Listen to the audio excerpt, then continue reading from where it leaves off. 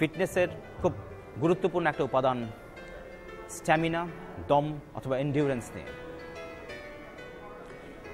এই উপাদানটা এতই গুরুত্বপূর্ণ খেলাধুলার ক্ষেত্রে অথবা স্বাভাবিক জীবনযাপনের ক্ষেত্রে যে একে আমরা সবচাইতে গুরুত্বপূর্ণ উপাদান হিসেবে চিহ্নিত করি। বিভিন্নভাবে এই এন্ডুরেন্স অথবা দম বাড়ানো যেতে পারে। এর মধ্যে আছে walking cycling swimming jogging running chair climbing এ ধরনের অনেক অ্যাক্টিভিটিস খেলোয়াড়দের দরকার এ ধরনের একটা অ্যাক্টিভিটি বেছে নেওয়া এবং একবারও না থেমে একটানা অনেকক্ষণ ধরে এই অ্যাক্টিভিটি চালিয়ে যাওয়া। রানিংকে আমরা ধরে নিই সবচাইতে সহজ এন্ডুরেন্স অ্যাক্টিভিটি খেলোয়াড়দের জন্য, যেটা খুবই গুরুত্বপূর্ণ।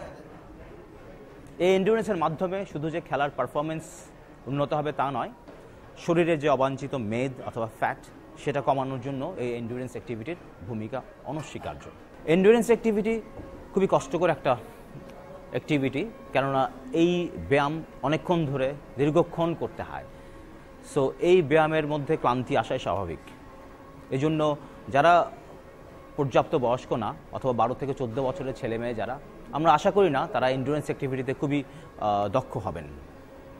কিন্তু এই বয়সটা এমন একটা বয়স যখন আমরা এন্ডুরেন্স অ্যাক্টিভিটির জন্য নিজেকে তৈরি করব। এবং কষ্ট সহিষ্ণুতা এই বয়স থেকে তৈরি করতে হবে।